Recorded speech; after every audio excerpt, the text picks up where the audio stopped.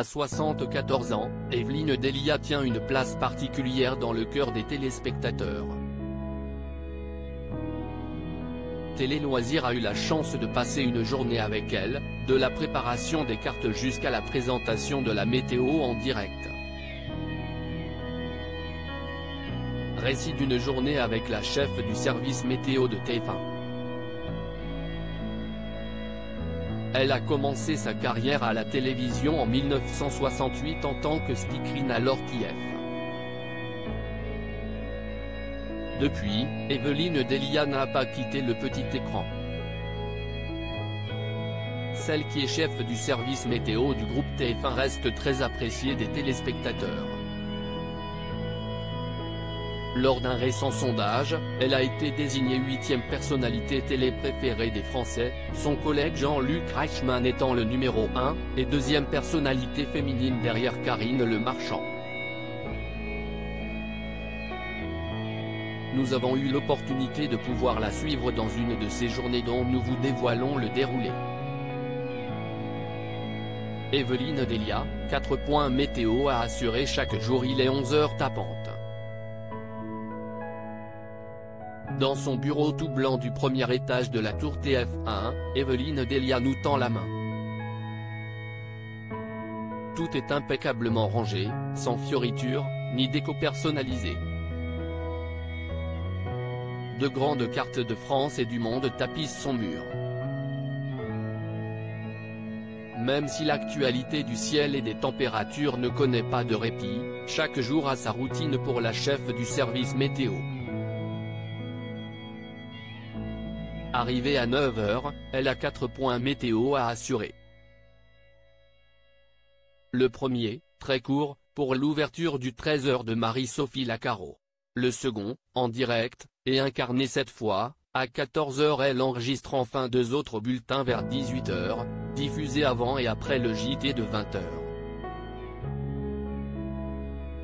La présentatrice météo de TF1 écrit elle-même son texte pour l'heure, la présentatrice est vissée à son téléphone, en lien avec les prévisionnistes de Météo France.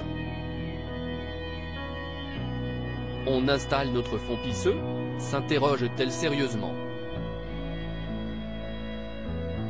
Evelyne soigne ses cartes en orfèvre. Il faut la voir quelques instants plus tard, au service infographie, peaufiner les nuances de couleurs les plus subtiles. Elle se fait malicieuse, je vois bien qu'on a souvent été copié. Je le prends comme un compliment. Son point commun avec Marie-Sophie Lacaro c'est avec le même souci du détail qu'elle rédige le texte qu'elle servira, sans prompteur, à ses millions de fidèles. Chaque phrase est pesée, et repesée. Gare aux mots qui fâchent. Je ne dis jamais qu'il fera beau ou mauvais. C'est relatif. Les dérèglements climatiques ont également changé notre traitement, glisse-t-elle avant de scène remettre à la palette de la maquilleuse qu'elle se partage avec Marie-Sophie Lacaro. Pas de coiffeuse en revanche, elle se débrouille elle-même. Et si Esti dans sa tenue du jour simplement assortie d'une veste qu'elle prend la direction du plateau du JT, vers 13h30, non sans avoir jeté un coup d'œil sur la fin des 12 coups de midi. Evelyne Delia, pas de départ à l'ordre du jour la voilà face au pupitre de Marie-Sophie Lacaro, campée devant un support à fond vert qui, à l'image, permet d'incruster la carte de France. L'exercice, nous avons testé, ne s'avère pas si aisé, surtout quand sa propre image se reflète en inversé dans l'écran de retour et qu'il faut pointer correctement les villes de France. À l'heure du décompte, pour le vrai direct, à 14h, cela fait longtemps qu'Evelyne ne tremble plus. Direction la cantine de TF1. Sur son plateau repas, une petite salade composée.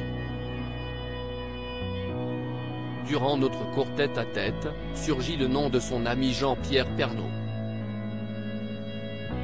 Pour son dernier JT, le plateau était noir de monde. C'était beau de pouvoir faire de tels adieux, glisse-t-elle.